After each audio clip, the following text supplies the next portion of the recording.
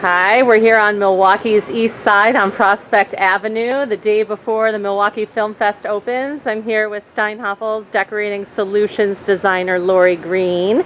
Hi, Lori. Hi, Stephanie. And uh, she's going to show us this uh, Film Fest lounge that she helped redesign. And uh, yeah, take us through and Yeah. tell us what you did. Well, come on in. It was a lot of fun. We uh, set up this morning, so we had the drivers here earlier, and they did a great job. They, they helped me put it in, the, and we took all the wrap off, and then we had some of the film festival people. They've been helping us, but right in here we have a really nice, comfortable lounge. It's really a nice combination of color with the grays and a little bit of touch of the blues a little industrial kind of a look to it as well with the leather.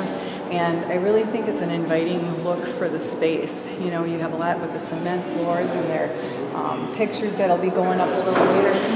Yeah, it has a cool industrial look Yeah, going on it in really here. does. Are you I trying to feed off of that? Right, and I was, and I never saw this place before. I only had pictures of the last year that they had, a couple pictures, so it gave me an inspiration to know where I could go with things. And um, of course, Kristen, um, operations director, she helped me so thoroughly too. We played off of each other to figure out what would work for the space, and just to have a real inviting, natural, you know, design to the look. Awesome. And can you just maybe tell me about a few of the pieces? Yeah, what we have in here, the uh, Violina Laval, that's a really popular design that we've. Very nice. It's all leather all the way around. And then we have our wood tables and the, the industrial look, at, obviously, with the metal. So it's a little bit more natural with a little bit rustic design to it, too. So people can put their glasses on it and not feel that it's going to do any damage to it as well.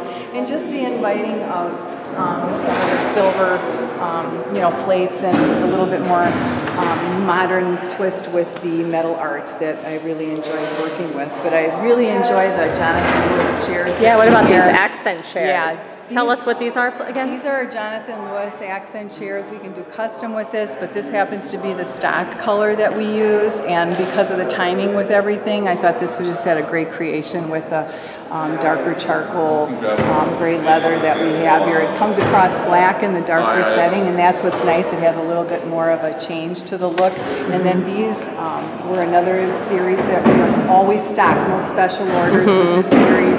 And um, it's just a very comfortable sit for a person of height or you know just natural for a woman to just sit and relax and it's durable too you know this is something that they can wipe off and, and just have a, um, a, a longer term enjoyment with these pieces so Very cool. Yeah, and uh, and you've even got the, the schedule right there in front Yeah, of you to see what movie you want to see.